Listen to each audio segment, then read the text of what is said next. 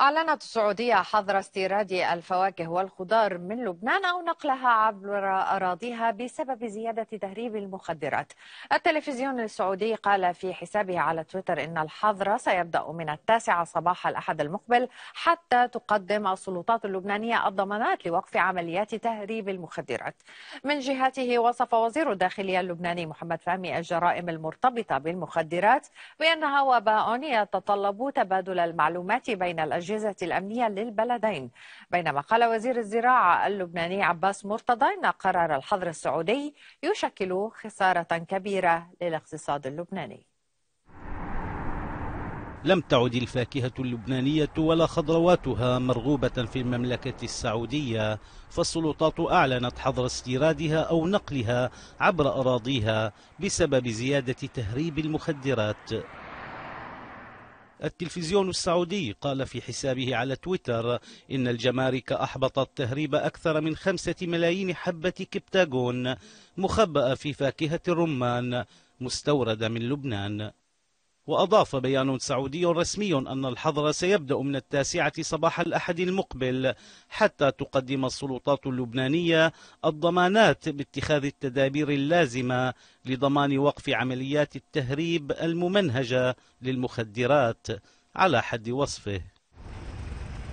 الرد اللبناني الرسمي لم يتأخر بدأ ببيان لوزارة الخارجية يفيد بأنها تلقت إحاطة عبر السفارة السعودية بقرار الحظر. تلاه بيان لوزير الزراعة اللبناني الذي عد قرار الحظر السعودي للمنتجات الغذائية يشكل خسارة كبيرة للاقتصاد اللبناني.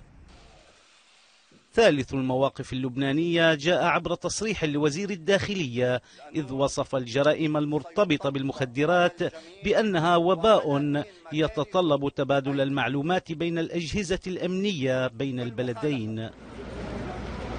حظر المملكة للواردات اللبنانية من الخضروات والفواكه قد تعوضه مصادر أخرى لتلبية احتياجات مواطنيها. ولكن توقف تصديرها من الجانب اللبناني يعني خسارة كبيرة تقدر قيمتها ب 24 مليون دولار سنويا. ومن بيروت ينضم إلينا جاسم عجاء الباحث الاقتصادي. تحياتي أستاذ جاسم. يعني هذا التطور بين السعودية ولبنان المخدرات تصل إلى المملكة عبر شحنة من الرمان.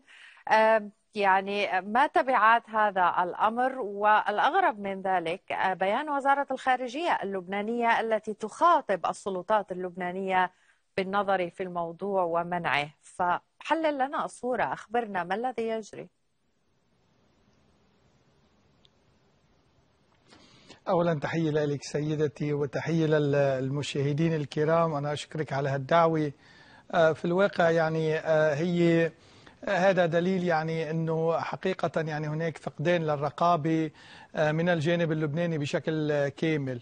ونحن بنعرف إنه سبق للسلطات المملكة العربية السعودية أن أخطرت الدولة اللبنانية إنه في آه، في تهريب للمخدرات من لبنان. ولم يكن هناك من أي أي من إجراءات آه، جدية يعني تسمح بوقف هذا الأمر. هلأ التصريحات والتصريحات الأخرى والأخرى على الصعيد الدولة اللبنانية والطلب وزارة الخارجية من السلطات اللبنانية كأنه عم نتحدث بين دول. وفي الواقع نحن بذات الدولة يعني يكفي اجتماع واحد للحكومة لأخذ قرار صارم بهذا الأمر.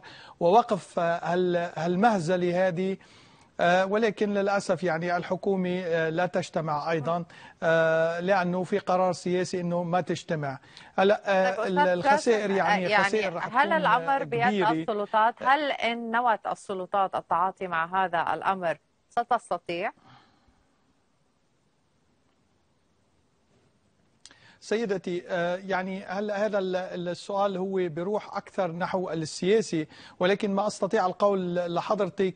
أنه الجيش اللبناني قادر على آه، كل شيء والجمارك آه، لا تقوم بأي شيء.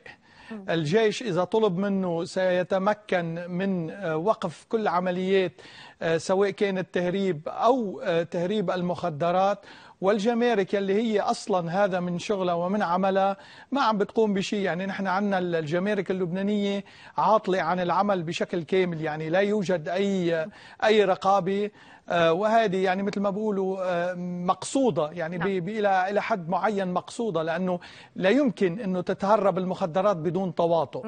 هلأ المشكل الكبير هو على الصعيد الداخلي اللبناني لأنه رح يكون في لبنان خسائر. يعني لا تنفصل أبدا السياسة عن الاقتصاد.